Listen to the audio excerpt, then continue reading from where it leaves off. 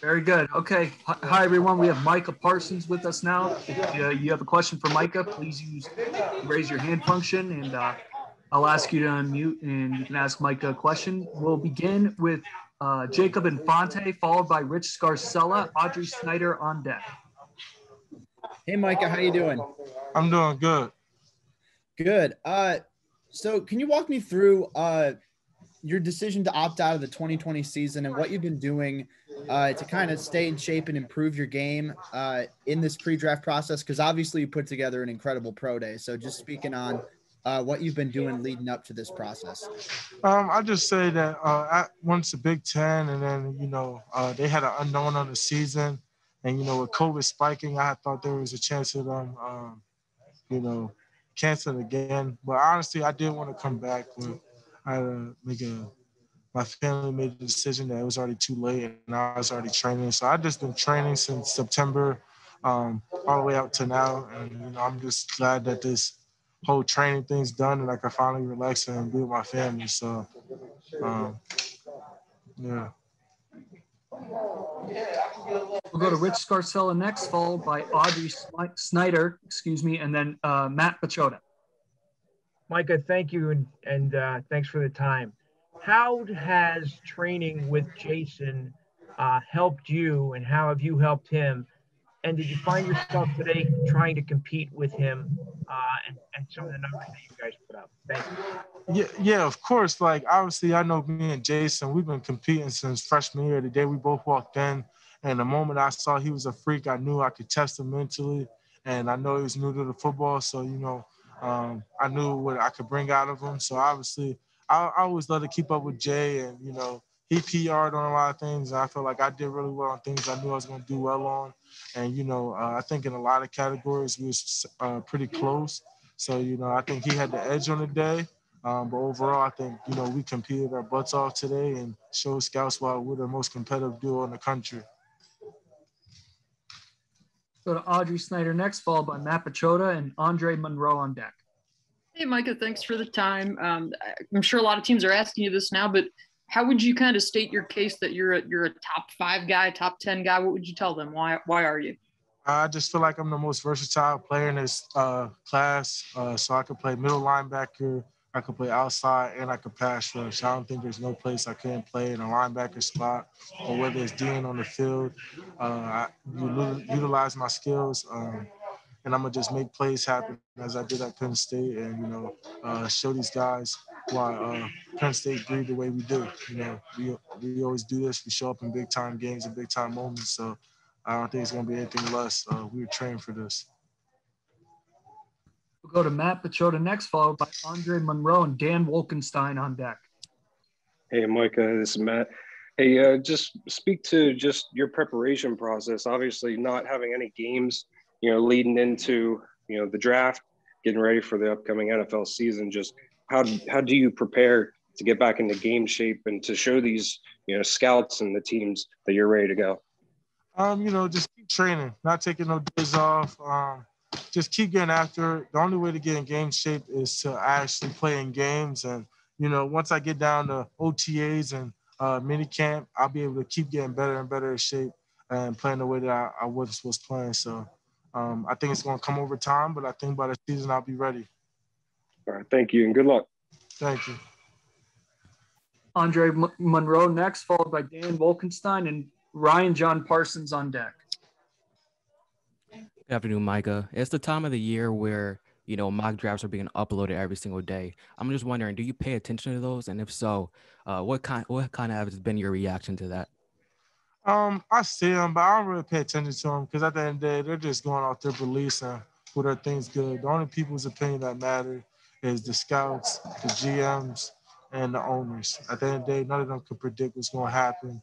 Um, everybody got their opinions, but the only opinions matter, like I said, is the people in the head office. If you're not there, then it doesn't even matter. Go ahead, Dan Wolkenstein, followed by Ryan John Parsons and Mark Brennan on deck. Hey, Micah, Dan Wolkenstein from the Brawl Network. How you doing? Good.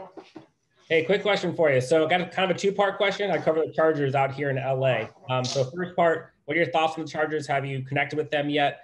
And then second part, I know versatility is key for your position, especially four three three four. Uh, talk about your versatility in terms of playing a linebacker or potentially edge. Um, yeah, I talked to Charles a couple times over the phone and uh, with a Zoom meeting. Um, but you know, my versatility is gonna come in handy. I played DE growing up and uh, pretty much my whole life. So pat, rushing the pass rush has never been a problem. And you know, obviously, what I showed at Penn State going sideline side has never been a problem. And a lot of teams been talking about first and second down, uh, having to go sideline sideline, third down, having to go get the quarterback. So I think I'm gonna walk into a great position. Ryan John Parsons, followed by Mark. Hey, Micah, how are you? Good. Sorry. Um, have you talked to any teams or coaches today? And uh, if so, have any of them mentioned you playing other positions other than uh, linebacker in the NFL? Uh, yeah, I talked to the Dolphins and uh, the I, I pretty much every team, the Steelers, the Raiders.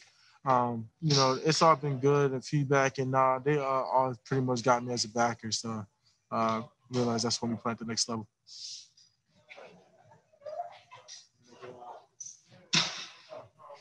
Go to Mark Brennan, followed by Ryan Dunleavy.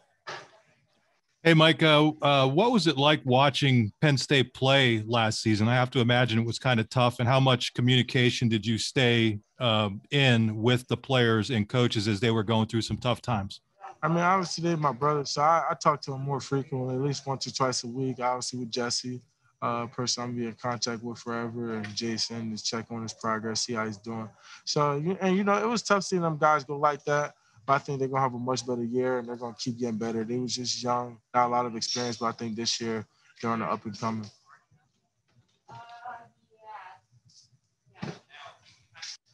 Ryan Dunleavy next, next followed by uh, John Maakaron. Hey, Micah, part of this uh, evaluation is tape, and the other part is character. How have you answered any teams so far that have had questions about your character? How have you answered those? And uh, obviously, is that where LeVar Arrington comes in for you? Um, you know, uh, LeVar did vouch for my character. Obviously, people have concerns about things that came up. But at the end of the day, I believe that I was a kid. You know, I was 17, 18. We all made mistakes when we were 17, 18. Uh, I'm not going to let it control, dictate the person I am uh, now. You know, I'm not going to let something that was three, four years from now dictate of who I'm becoming and the father I want to be. You know, I'm everyone's going to learn and grow. I'm pretty sure none of you are making the same mistakes when y'all were 17, 18, or even 25. And if someone's going to judge me over that, you know, I'd rather not be in their program. You know, I know what type of person I'm becoming. I know what type of father I'm becoming, and that's all that matters to me. So, uh, anybody who's willing to accept my wrongs when I was wrong and accept my rights when I'm right, uh, I'm ready to go in and give them my all. But you know, if it's going to come down to something that I did in high school, or you know, something I wish I could change, then you know, I can only control what I control and what I do forward. So that's how I feel about it. We'll go to John next, followed by Pat at WGAL. Hey, Micah, I'm John Maakaron with SI All Lions. I cover the Detroit Lions. I'm just curious. I got two questions. Uh, one, have you had any meetings with the Detroit Lions? And two, what would it mean to play for a team that has a prominent member in the front office that played linebacker in Chris Spielman? Uh, you know, uh, I talked to the Lions a couple times. I spoke with the coach again today. Uh, we had a great, great conversation. Um, you know, honestly, it, I'll be blessed to really go anywhere, you know, but obviously playing with Chris Spielman and things like that, someone who can enhance my game would be terrific for me. Someone who will help me learn and grow and, you know, push me to get better every day. And that's all I need. Thank you. Good luck in the draft process. Thank you. We'll go to Pat next, followed by Will Hutchinson Pegler. Micah, how are you, my friend? I'm good. How you been, Pat? Nice to see you again. I got my COVID shot today, buddy. I'm ready to run a 40. Hey, I need to get mine soon. do that. Do that. It's painless. Hey, you mentioned you've been working um, for this for the last like six months. What are you feeling now? I mean, is it relief? Is it pride? And what will it be like the next month as you wait for the draft? Um, you know, uh, it's a big relief. You know, I finally get to go home and be with my son and my family, and finally get this wait of this day I've been praying for and telling you guys how I'm gonna do what I'm gonna do and the expectations of me. And you know, it's finally like a lift off my shoulders, and now I can just finally relax and just you know look forward to this draft coming up because I'm excited, man. Uh, it's a it's an unbelievable feeling and an unbelievable truth that you know I waited for this and I finally get to experience it. Hey, Mike, how's it going? Next, followed by Alex Dymel. My bad, didn't mean to cut you off. how's it going, Micah? Good. Good, good. Um, just wondering today specifically, how was it? Just you know, being back on campus, back around some of the guys, back around your old coaches like James and stuff. How, how was that overall? I just feel like it's always been family here. I've been coming here since my freshman year of high school, so it's like any other time. I was greeted with open arms, open love, nothing but love. And you know, being around these guys is great. Uh, seeing what they what what they want to accomplish this year and I can't wait to see him do it, man. I, I love it here. This is like my second home, and I got like three dads up here that I can rely on, and I can always call up if I need help. So, you know, it's beautiful. Micah, how are you? Thanks for taking the time. Of course. Um, how would you say, uh, you know, Coach Franklin and your uh, defense or linebackers coach Brent Pry have prepared you for draft day just throughout your college career? I would just say, you know, Coach Pry always held me to a high expectation, and so did Franklin. They always pushed me to get better. I believe that they saw what I could do before I even saw it. So, you know, obviously having that unbelievable confidence in me and, you know, pushing me every day, understanding and showing me my rights and wrongs, teaching me how to become not just a better player, but a man, uh, really helped me change my character and uh, who I want to be and show me, you know, how to be a professional. Awesome. Thanks, man. Last question for Micah, uh, Art Stapleton. Hi, Micah. How you doing? Um, I know, I know your relationship is pretty strong with uh, Sean Spencer.